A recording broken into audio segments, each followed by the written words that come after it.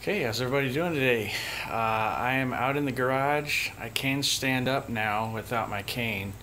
Um, it is still quite a bit of pain, so I, am not going to be out here too long. Um, but, and if I bend over, I got to support myself with my hand. But I'll show you what I'm up to on the coupe. So I'm trying to find the uh, vacuum leaks. So kind of dark in here. I already, these little boots, these used to be this kind of dry rotted rubber. Um, and I'm pretty sure I just bought new boots like a couple years ago, so they dry rot and crack pretty fast. And then you get vacuum leaks on your carbs. Uh, so I got these vinyl ones. Uh, they have rubber ones at the store, but the vinyl ones are the same price and they're just different colors. Um, they come in a little you know, they look like this. And they only give you so many of, uh, like they give you enough to do two carburetors and then maybe something else. And I got two carbs, so I need them all. So the first one, uh, the front ones I can get to no problem. The ones on the back carb, they were all split as well, but they're way they're way down in here, and this carb is up against it. I was able to get this boot off and this one on the other end here, but um, uh, at, when I was trying to put the new boot on here, it dropped between them, and that's that's like a long way down there. So I had to get I had to get like a eight inch screwdriver, and I'm trying to get it out. It's just moving around down there because I need all four of them. I need two. There's only four blue ones. Um, so I got. I'm like, what can I do? I need something sticky. So I found this tape, you know, the uh, the post office tape that was on this bubble wrap here. I stuck it to the end of a screwdriver stuck it down there and I got it. Uh, so sometimes you got to do a little, little whatever. I don't know what. So uh, I get the phone to focus here. Um, so the middle one, the middle one, I cannot get to. That's the big one, and it's right up against the uh, front carb. So that means I had to take the fuel line off and it's like you know finding the wrench like what size is that? It's it takes it takes forever. It's pretty stupid. There's this linkage here but uh, the bolts holding the carb down were half inch or the nuts down here. So I got all four of those off and I'm gonna try to take the carb off. Um, I'm not sure if I'll have to undo this linkage or not. I might.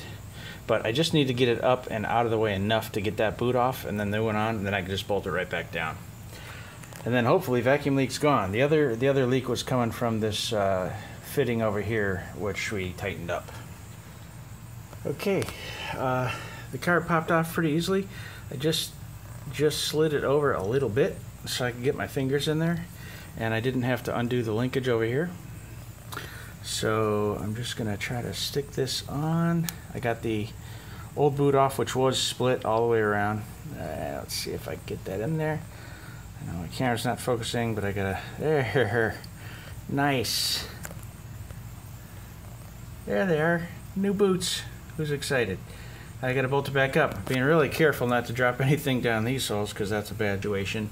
There was four washers on here. I had to pull those off so I didn't drop them in the hole, you know, because that'll ruin your motor. So let's get this car back on.